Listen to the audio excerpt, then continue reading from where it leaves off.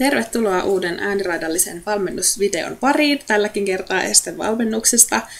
Ja kuten videolta näkee, niin se on vähän huonompaa laatua, koska se on kuvattu puhelimella mun omasta kamerasta, oli nimittäin akku päässyt loppumaan ja tällä nyt sitten mennään.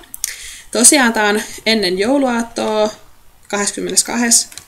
22.12. olevasta valmennuksesta ja tässä ei ole niitä ihan ekoja hyppyjä mukana. Tuossa näitte aluksi tota meidän pientä verkkaa, eli tultiin ihan tuommoiselta puomilta kolme laukkaa pystylle ja siitä sitten viisi, ää, tai itse asiassa kuusi laukkaa taidettiin ottaa ja toi okseri.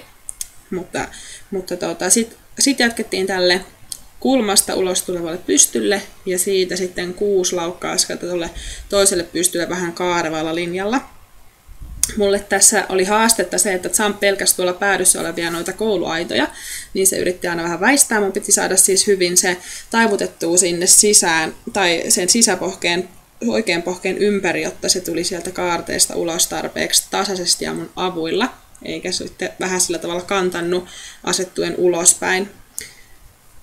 Sitä me tultiin muutama kerran ja mukaan tämä okseri vielä tällä lävistäjällä ihan yksittäisenä josta sitten jatkettiin vielä lyhyen sivun kautta. Tässä näette, että Samp vähän vastusteli sen takia, koska se ei halunnut mennä tuon kouluaidan viereen, niin sitä me yritin sitä sinne saada, mutta sitten tultiin vielä tämä pysty-pysty-sarja yhdellä laukka-askeleella, missä nyt ei ollut mitään ongelmaa.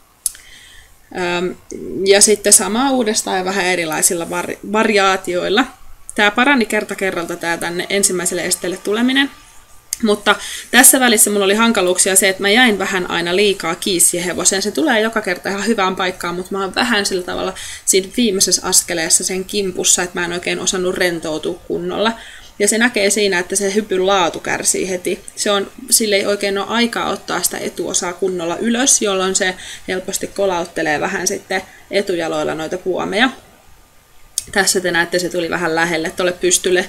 Ja sitten ehkä jatkoi vähän liikaa tuonne okserille. Mä olisin voinut mieluummin odottaa vaan, enkä niin antaa sen mennä eteen. Ja sitten tullaan vielä tää pysty-pysty-sarja. Siinä sarjalla ei ollut ikinä itse asiassa mitään ongelmia. Mutta tossakin äh, mun valmentaja halusi, että mä otan sen viisi laukkaa askelta, niin silloin se tuli tosi lähelle tuonne vikalle pystylle. Mutta tota, se oli ihan tarkoituksella noin. Äh, Sitten tultiin taas uudestaan. Ja nyt mä sain ratsastettua vähän aavistuksen paremmin tonne pystylle, ekalle pystylle. Ja tuossa näitte, mä en ihan niin paljon jäänyt sen hevosen kimppuun enää, mutta edelleenkään mä en ollut niin täysin rento ennen tota tokaa pystyä.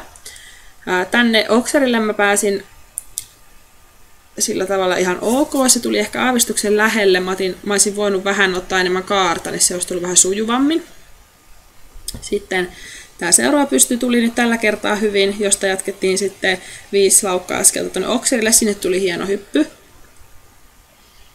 Ja siitä jatkettiin vielä tämä pysty-pysty-sarja. Näin päin.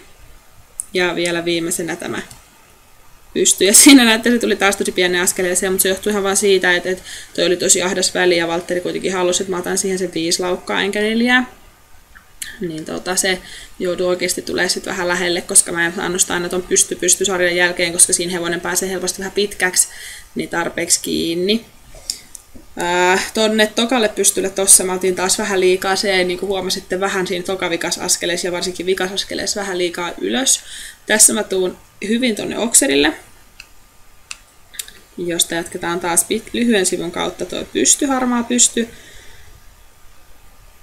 Sinne tuli ihan hyvä hyppy ja sitten tästä kaareva linja tänne sarjalle ja sinne mä tulin itse asiassa näin päin kun tullaan, niin joka kerta itse asiassa tosi hyvin, vaikka tonne harmaalle pystylle tulisikin huono hyppy. Tuossa se tuli aavistuksen taas vähän lähelle, niin se hyppäsi vaan tuommoisen nenällä oleva hypyn. Öö, mikä mulle on hankalaa, kuten huomaatte, kun mä tässä menen, niin mitä mä itse kiinnitän huomioon, on se, että mä haluaisin olla ennen estettä paljon rennompi. Vaikka mä istun satulassa ja pystyisin, niin mun pitäisi osata rentouttaa mun kättä vähän enemmän eteen, niin että se ei ole niin passiivinen ja vahva. Ja sitten toinen, niin totta kai esteen jälkeen pitää olla pystyssä, mutta mä otan ehkä oman, oman käden vähän liian nopeasti siihen hevosen, tai niin kuin oman kroppani eteen, että siihen he, se hevonen joutuu tulla vähän nopeasti esteeltä niin sanotusti ylös, jolloin se ehkä alkaa itsekin hätäilee vähän sitä hypyn kaarta. Esim. kun jos te olette nähnyt reilu vuosi sitten videon, kun Niklas Aromaa hyppäsi Zampilla, niin sehän on ihan erinäköinen hänen ratsastamanaan, koska koska tuota, tonne mä tulin tosi tosi lähelle, sen takia se otti puomin siitä. Ja samaan mä tuun tosi lähelle nyt tänne, tänne pystylle. Siinähän sama moka, eli se olisi voinut olla vähän niin kuin paremmasta paikasta. Mutta siis niin, niin Niken kanssa se hyppää ihan älyttömän paljon pyöreämmin ja ilmavammin ja käyttää koko kroppaansa, koska sillä on silloin niin kuin vapaus siihen, kun sitä ei häiritä siellä, niin se on semmoinen asia, mitä mä haluan oppia parantaa, mutta se ei tule kuin vaan harjoittelemalla, että onhan se tosi masentavaa katsoa tätä, mutta kun tietää, miten paljon enemmän tuossa hevosessa on vielä hyppyä ja laatua, mutta sitten mä en saa sitä vaan millään esiin.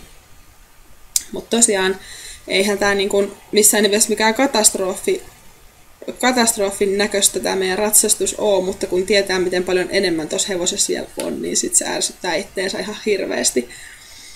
No tämä rundi, mikä tässä nyt meni taustalla, kun mä selitin, niin ei ollut mikään niin kuin, maailman paras, mutta ei missään nimessä mikään superhuonokaan. Se oli semmoinen, että siellä oli vähän huonoa, vähän hyvää välissä. Sitten me tullaan tätä samaa linjaa tässä mä pääsin rentouttaa mun käden vähän paremmin kaksi askelta ennen tota hyppyä, niin kun ehkä huomasin, että se hyppy oli vähän rennompi, vaikka se ei hypännyt mitenkään hirveän isosti. Sitten mä tuun taas ihan hirveän pienen askeleeseen. Mä en tiedä minkä takia nämä kaksi niin kuin vikaa kertaa, tai ei vikaa, vaan sitten nämä kaksi nyt tähän mennessä olevaa kertaa. Mä sössin ja sama sitten tänne.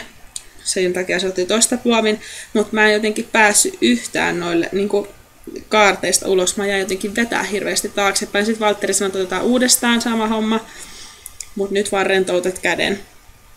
Tuossa oli kans vähän sama, että mä pääsin paremmin rentouttaa. Okei, kolme askelta ennen mä otin vähän isomman pidätteen, jonka jälkeen mä pystyin rentouttaa sen käden, mutta kuitenkin rentoutin. Tässä mä pääsin nyt hyvin sinne ja sinne tulikin sitten hyvä hyppy tonne okserille.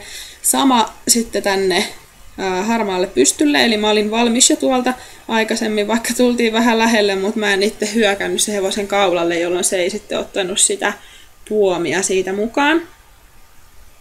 Ja jatkettiin vielä sitten sama uudestaan, eli tuolta okserilta sitten toi harmaa pysty. Ja sinne tuli taas ihan hyvä paikka, eli hyvä, hyvä hyppy siitä. Ja jatkettiin tämä harmaa pysty vielä sen takia, että saatiin siihen parempi paikka joka onnistukin sitten. Ja taas tämä kaare tonne pysty-pystysarjalle oli hyvin ratsastettu mun osalta. Siitä mä olin tyytyväinen ja tähän oli hyvä lopettaa sitten valmennus.